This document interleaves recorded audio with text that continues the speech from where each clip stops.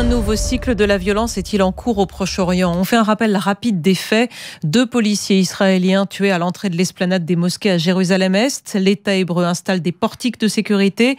Les Palestiniens ne veulent pas passer ces contrôles et pris à l'extérieur avec des victimes des deux côtés. Et le Conseil de sécurité de l'ONU qui se réunit ce soir. Bonsoir Frédéric Ancel. Bonsoir. Vous êtes géopoliticien, maître de conférence à Sciences Po Paris.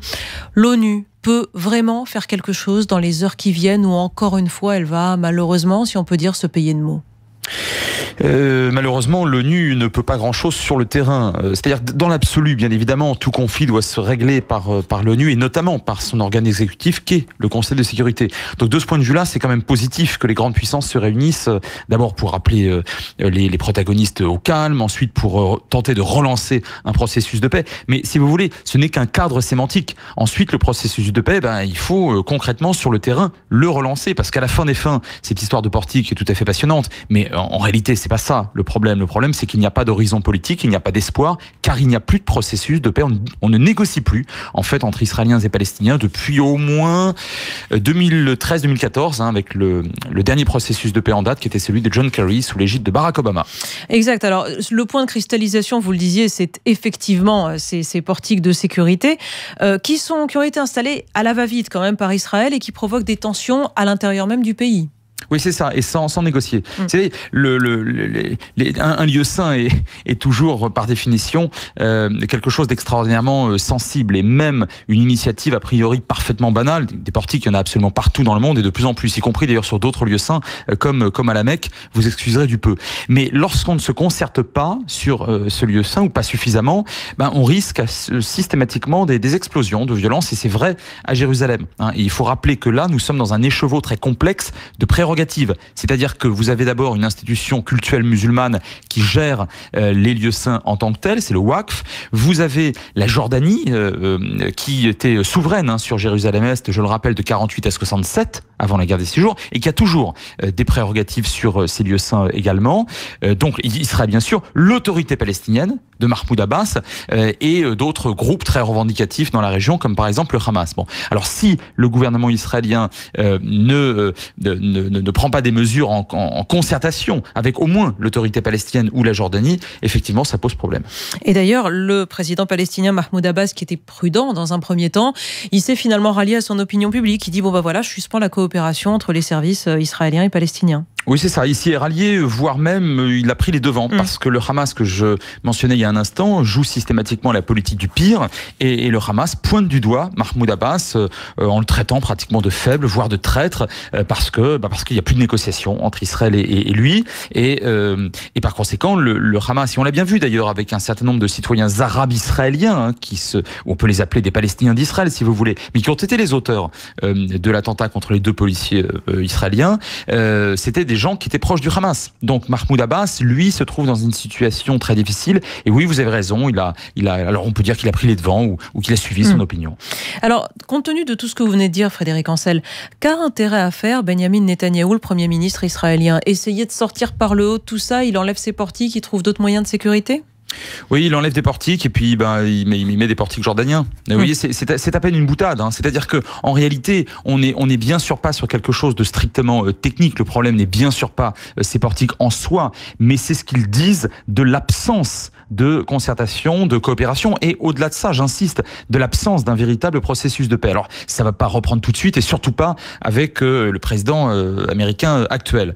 mais en revanche, dans les prochaines heures, oui, il est vraisemblable que Netanyahou, qui a su d'ailleurs être prudent à plusieurs reprises euh, au cours de sa longue histoire à la tête de l'État d'Israël déjà, euh, même si c'est un nationaliste euh, dirigeant une coalition nationaliste, sur ces questions-là qui ne concernent pas d'ailleurs réellement la souveraineté, qui sont des questions techniques, il, est capable de faire des gestes et je pense par conséquent que les portiques vont être retirés. Voilà, vous parliez Frédéric Ancel effectivement du, du président américain. Donald Trump envoie son émissaire au Proche-Orient. Qu'est-ce que ça veut dire? Conscient de la gravité de la situation? Oui, alors on, peut au moins se réjouir d'une chose, c'est qu'ils prennent en compte le fait que la situation n'est pas euh, n'est pas satisfaisante. C'est déjà ça. Euh, bon, à chaque fois qu'il y a manifestation de violence dans la région, évidemment, hein, le président américain euh, en place, quel qu'il soit, envoie un émissaire et parfois intervient d'ailleurs directement, notamment par téléphone, auprès des protagonistes. Bon, là il le fait et c'est une bonne nouvelle. je vais vous dire pourquoi. Parce que jusqu'à présent, Trump ne nous avait pas habitués à une vraie responsabilité.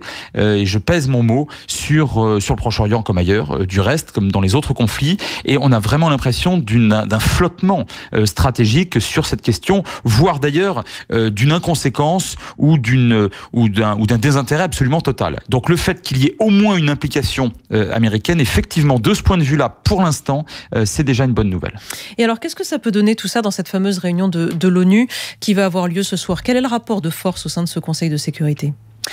Alors, le, rapport de force, il est nettement euh, en faveur du tandem israélo-palestinien. Alors, ça va vous étonner ce que je, ce que, ce que je vous dis, mais, euh, mais, mais, Israël et l'autorité palestinienne, même s'ils ne négocient plus euh, dans le cadre d'un vrai processus de paix, coopèrent beaucoup au quotidien et notamment, notamment en matière économique et sécuritaire contre les, les djihadistes et contre le Hamas. Bon.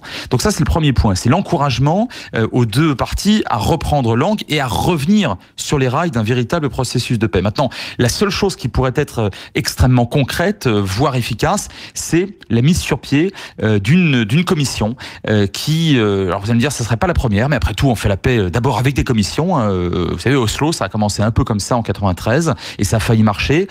donc vous auriez par exemple un Européen, un Américain, vous auriez, que sais-je encore, un, un, Égyptien, un Marocain, enfin une personnalité du monde arabe, peut-être un Russe aussi, qui bah, ferait la navette entre euh, Ramallah et Jérusalem pour voir comment euh, dépasser ces questions euh, stupides mais en même temps très mortifères de ces de ces portiques pour parvenir à à revenir sur à la table des négociations et à négocier les points extrêmement lourds que sont le statut de Jérusalem évidemment et puis bah, aussi les implantations aussi l'eau les frontières la sécurité etc et ça c'est quelque chose que le Conseil de sécurité peut décider de créer. Et précisément Frédéric Ancel à terme il y a plus de processus de paix aujourd'hui vous le dites vous-même. Est-ce qu'on peut croire à la fin des fins à cette fameuse solution à deux États prônée par, par tant de voix?